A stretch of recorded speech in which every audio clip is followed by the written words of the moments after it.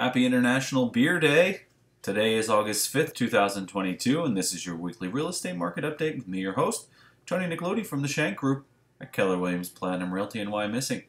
I've had a great week working with clients all over Berks and Lancaster counties. Now I'm here to bring you the weekly numbers for both counties. Uh, here we are, both side by side. Take a look. Breathe it in, soak it in, people. There you go. Uh, the numbers, uh, we had a drop of 30 total active listings in Lancaster and a drop of 9 in Berks to give us our current totals of 487 and 414 respectively.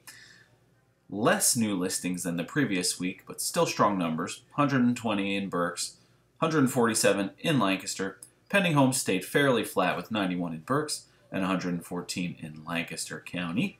And closing units for both counties stood at 139 and 138.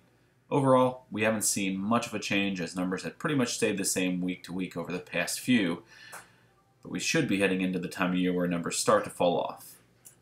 And with still low inventory, it'll be interesting to see if we stay up where we've been or if there's a pullback. Now, next week I'll be taking a look at the past month compared to the last couple of years worth of data, so tune in for that. And now on to our Realtors pick of the week. Uh, so last week my Union pick didn't turn out so well. Should have just went with what we were doing with Union. Union win or a goal. Uh, they won six nothing. Uh, they absolutely beat the crap out of Houston, so we'll take that, even though it wasn't a win for us. This week, the Premier League back is back, and boy, do I have a doozy for you. Good friend of mine, Matt Grajewski, actually gave me this but I love it too much not to steal it, so here you go. Uh, he actually gave me, I think it was only a four team parlay, but this is going to be a six team parlay. Yes, you heard me right. Six team parlay. Uh, these are all outright winners. So we got Liverpool, Tottenham, Newcastle, Chelsea, Man United, and Man City. That's right. The top six, uh, except for Arsenal, who are on now winning. Should have just picked them. That would have been nice. Hi, Apsley. There's Apsley. Does everybody say hi to Apsley? Apsley, say hi.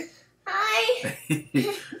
so we're. I'm just giving everybody my 16 parlay. Can I can I go with my dude, the green dragon? Sure. Yes. Of course. um, if you're gonna play this, please don't go heavy. This is all for fun. Don't bet more than you're willing to uh, lose, which happens quite frequently when you listen to me with picks. But uh, you know, it's for fun, so so have fun with it.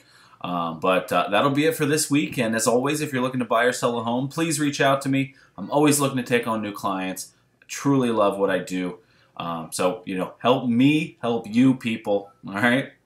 Uh, okay. Until next week. See ya.